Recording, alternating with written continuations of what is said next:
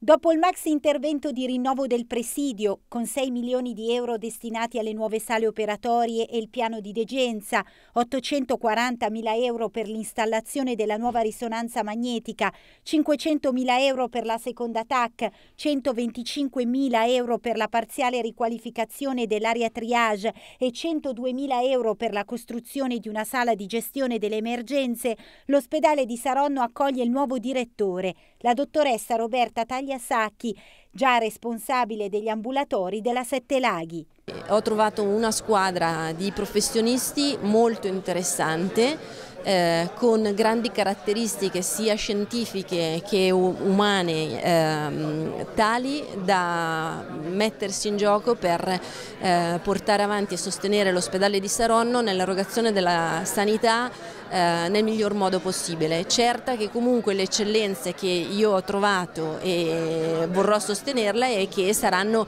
biglietto da visita non solo per la provincia di Varese ma anche per la provincia di Milano e per la provincia di Como a noi vicine. La dottoressa Tagliasacchi ha capacità tecniche elevatissime